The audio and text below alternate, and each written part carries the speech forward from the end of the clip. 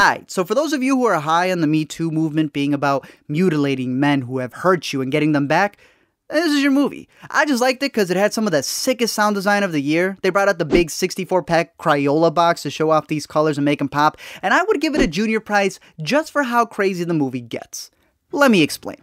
So the girl from Rings finally gets a better role, even though it's about her being the side chick for a rich dude, but it's a lot better than what she had in that movie. To me, she's kind of like the new Jessica Alba, and she's got all the guys acting extra thirsty since they're vacating in the desert. Everything seems to be fun and games until Creeper McCreeper Pants decides to channel his inner Weinstein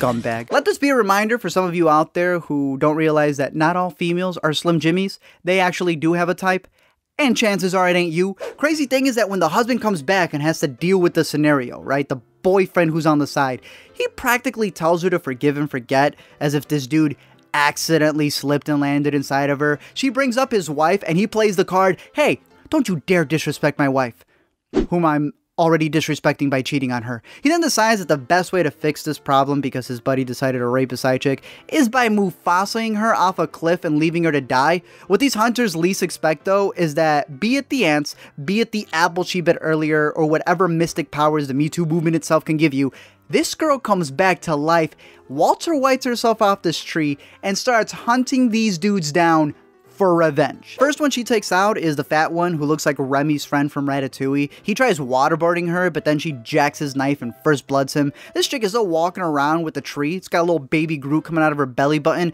So there's this trippy scene where she decides to take a psychedelic, literally starts hearing the score of the movie, and straight up carves out this massive splinter as she uses a beer can to cauterize it. Why the lettering is reversed? I don't know, this is a movie where she already defied death. She then goes after French Harvey and American snipers his shoulder. He then Barry peppers off her ear. And then in the most disgusting scene of the year, and I've seen that Stormy Daniels tape, we get this dude stepping on some glass after he took off his sock to use it as a sling. And if you know the pain of stepping on a Lego, then this scene would be your biggest fear as this man plays Operation with his foot.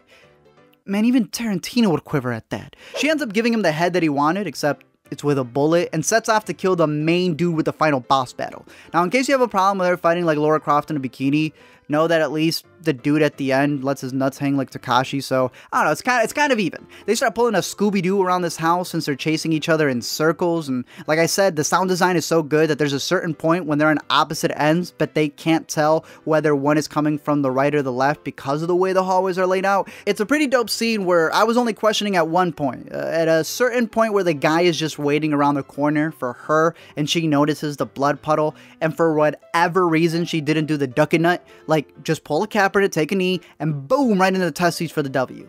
She does eventually get him when they're battling out in the back, because... Women always have to put up a fucking and she gets to live another day, proving once and for all that the only way to bring peace to this world is to kill all men.